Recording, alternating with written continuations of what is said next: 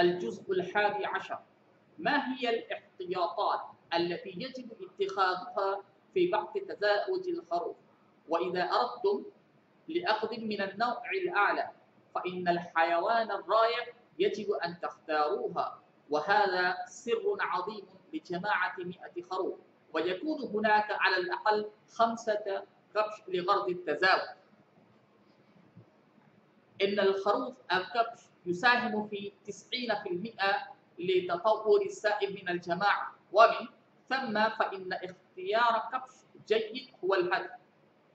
وتحت أي الظروف فلا يسمح للخروف أن تزاوج مع كبش المتأثر من المرض وفي حالة التزاوج فإنه يتخذ الرعاية المناسبة للتأكد من الخروف أنه لا علاقة دموية مع كبش المخلوق وإذا تبدل كبش في كل سنتين فإنكم تأخذون خروفا صحيا جيدا بدون عاهة. والله يوفقكم للخير آمين.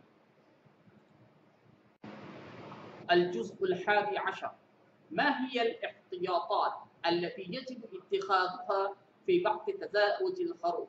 وإذا أردتم لأخذ من النوع الأعلى فإن الحيوان الرائع يجب أن تختاروها وهذا سر عظيم لجماعة مئة خروف. ويكون هناك على الأقل خمسة كبش لغرض التزاوج.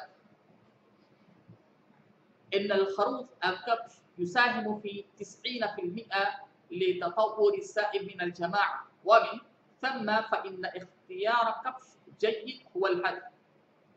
وتحت أي الظروف فلا يسمح للخروف أن تزاوج مع كبش المتأثر من المرض وفي حالة التزاوج فإنه يتخذ الرعاية المناسبة للتأكد من الخروف أنه لا علاقة دموية مع كبش المخلوق وإذا تبدل كبش في كل سنتين فإنكم تأخذون خروفا صحيا جيدا بدون عاهة. والله يوفقكم للخير آمين.